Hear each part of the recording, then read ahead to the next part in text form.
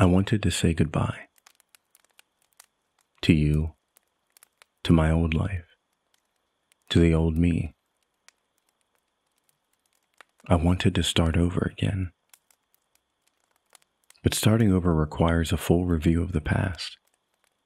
And to review the past, you have to remember it. I've forgotten so much of my life. So much that I do seems so inconsequential that it doesn't even register in my memory. It falls to the wayside with all other sorts of trivial and mundane. But when I look back, all of those tiny little nothings forgotten have left a gaping maw. It seems nothing is truly inconsequential.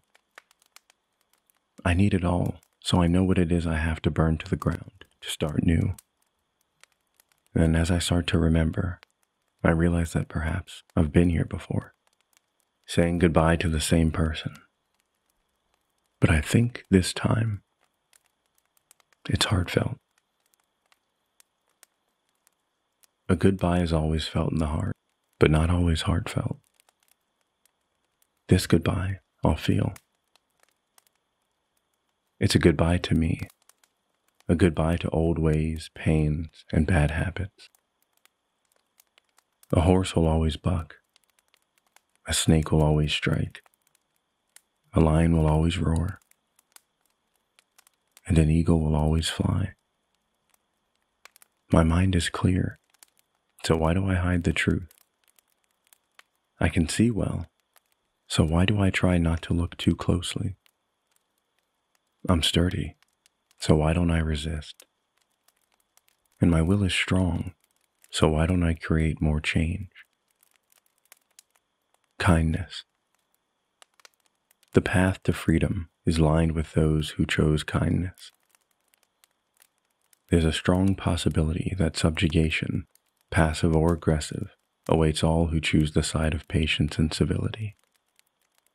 If the hand that feeds you also hits you, could you choose to starve? If authority wants you either subservient or subdued, could you risk a life and limb for your freedom? If the one who claims to love you also hurts you, could you instead love yourself? Would you allow it to get to that point before you stood mighty and tall?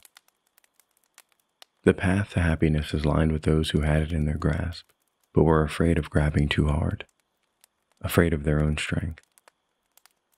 All who suffer, suffer because they're too weak to overcome. This is no indictment of one's personal character. Some were legitimately dealt the worst of bad hands. Some fought as well as anyone could, and others just didn't know what game was being played. Nuances aside, this world favors those best fit for its current shape in all walks of life.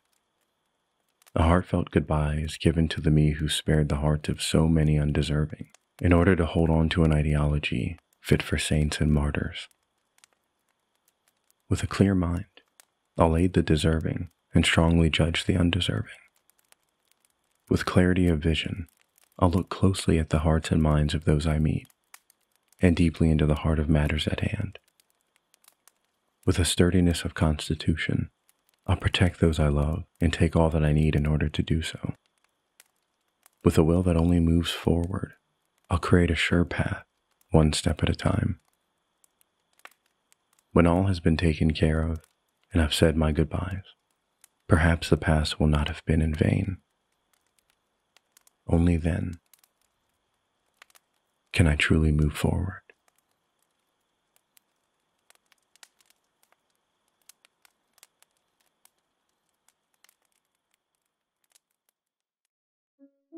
Thanks for watching the video. I'll be reading and analyzing my book from then till now on Wednesdays, and Piece of Mind and Vibrations on Saturdays.